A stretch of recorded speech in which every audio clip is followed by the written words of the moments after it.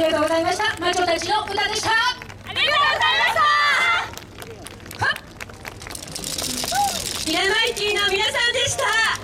華麗にかっこいい演舞ありがとうございました。さて続いてのチームは高校白書2000の皆さんです。